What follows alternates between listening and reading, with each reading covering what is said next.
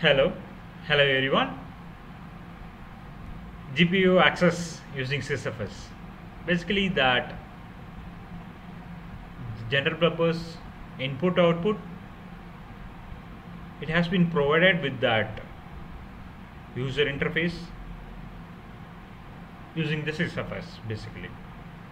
It provides the files and configurations and informations to write and read back about the GPIO pins of each the processor.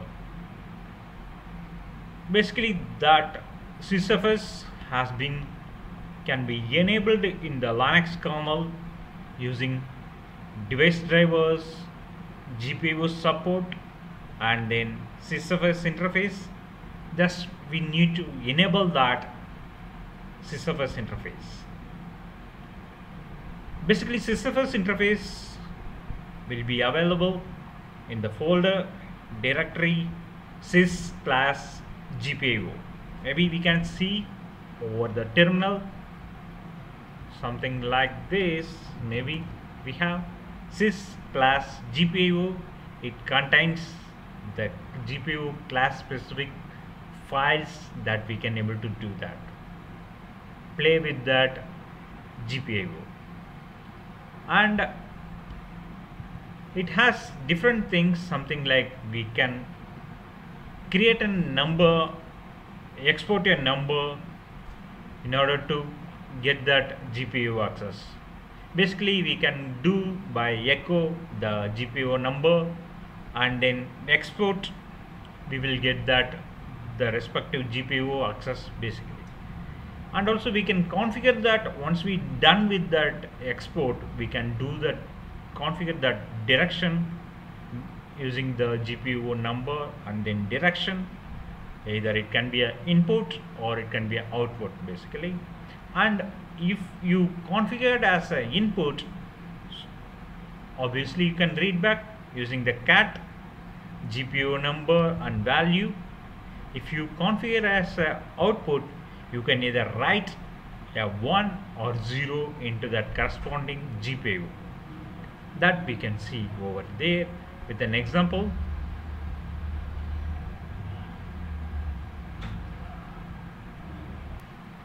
We can able to see that with an example. Yeah. I have a device called accessories shield which contains multiple peripherals. It I just plugged on top of to the UDOO NEO board. I got the system like this. Maybe yeah. I just plugged on top of UDOO NEO board the accessory shield yeah. It contains LED display over here and I have the buzzer here. I have the potentiometer uh, temperature sensor here I have the relay over here I have that potentiometer over here I have that RGB LED and then mini joysticks. In that we will be check some of the peripherals using the GPIO basically that we can able to check it over here. Yeah. Maybe when when I that when when when I take the board there is uh, some power. It has happened to disconnect. Basically over here I wrongly typed the password I think. Yeah. I have to type again. Yeah I got it connected. Cd sys class GPIO and I have that uh, here. Yes. We have different kind of peripherals. We will see how it was interfaced with the i.MX SoloX processor of UDOO NEO board basically. Here we have that GPIO GPIO port 5 and the pin number 15 is connected with the blue LED and it says that since it is uh, how we can manipulate that GPIO number it's something like it starts from 1 2 3 4 5 and the GPIO port P minus 1 into 32 plus the pin number.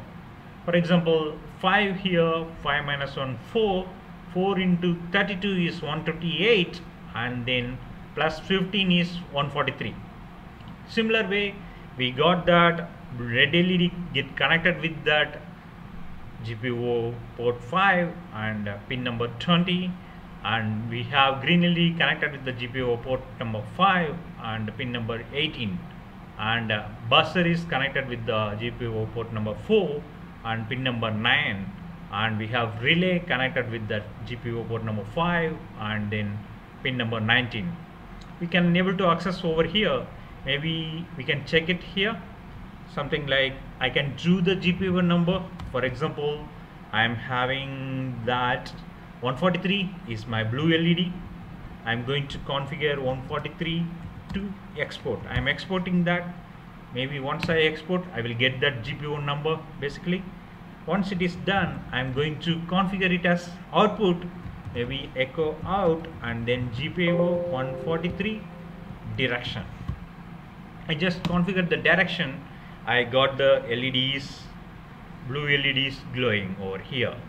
Yeah it's maybe I can do change the value over here maybe echo and then I'm going to write 1 maybe GPIO 143 then value it got off. Maybe I am writing 0 again it's glowing basically. It's something like a simple GPIO interface to access that simple sysfs interface to access the GPIO basically over there.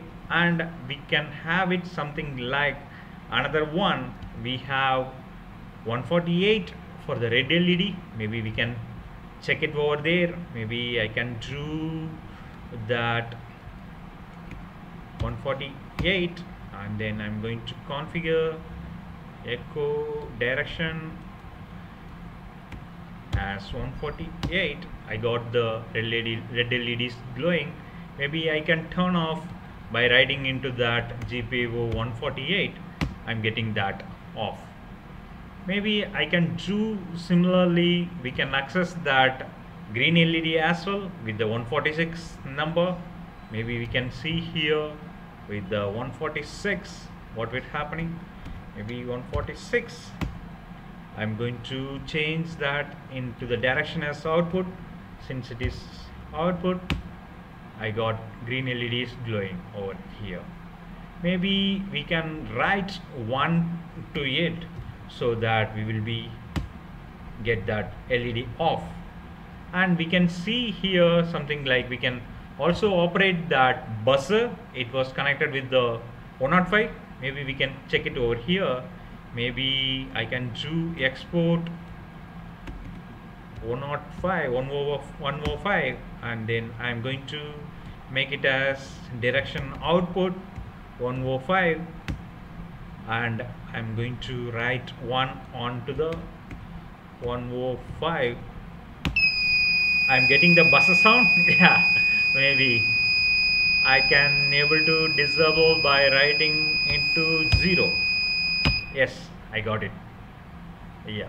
Similar way I can play with that the relay which connected with the 147 maybe I can check it. You can check that as well 147 over here I just exported and I'm going to configure it direction as output. Yeah I got it. Maybe I have to write 147 it does not change. Its value is 1 maybe I'm going to write 1 I got the LEDs uh, relay is activated and uh, LED is glowing. Maybe I have to type I'm typing again that with the 0 the relay is deactivated de-energized and LED is off maybe I, we can check it again yeah here the LED is glowing and the LED is off yeah it's very nice to start with that how we can play with that sysfs interface that it can be access the GPIOs. Basically, it's just an output.